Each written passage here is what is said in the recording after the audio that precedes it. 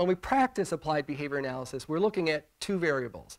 Uh, and, and, basically, all human behavior can be uh, dichotomized into two different categories. There are behaviors that occur way, way, way too much, and behaviors that occur way, way, way too little. Um, and we refer to those behaviors that don't occur enough as basically deficits or skill deficits.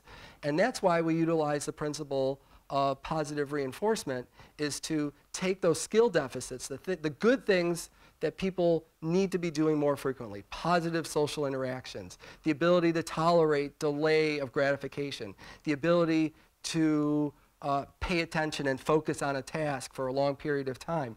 Those are what we call skills that are necessary to, to be a fully functional individual in our society. So we utilize these principles such as positive reinforcement to take these skill deficits, engineer or modify the environment, and then we insert the positive reinforcement to increase the, the demonstration of those skill deficits.